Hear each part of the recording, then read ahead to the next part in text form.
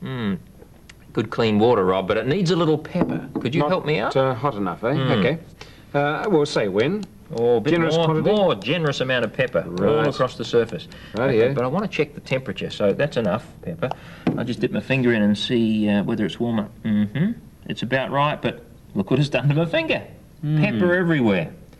Have you ever noticed that? Whenever you stick your finger in a glass of water containing pepper on the surface? Every surface? time, Mm, it does. Watch what happens to this finger. Here we go again. Watch it carefully. How about that?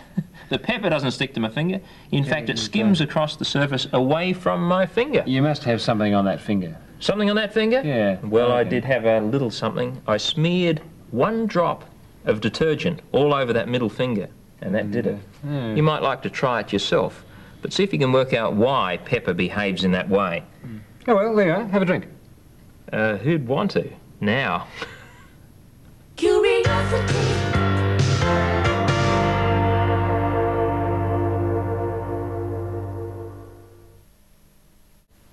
Rob, I'm about to launch a matchstick in an ocean of tap water. Could you help me? Sure.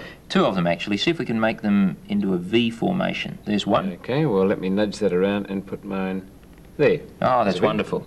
Now watch carefully that V as I take an ordinary plastic drinking straw and touch it between the two matchsticks.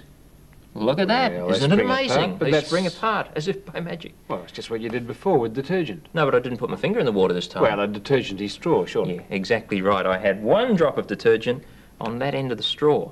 But watch what happens this time, if we can get back to our V formation.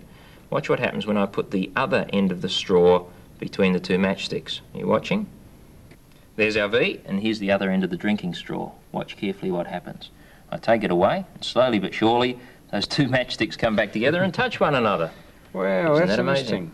What if you dipped the straw in the opposite of detergent, like uh, dirty plate or something? Well, you're close. Actually, I dipped it into clean sugar, Hmm. and that reverses the action of the detergent.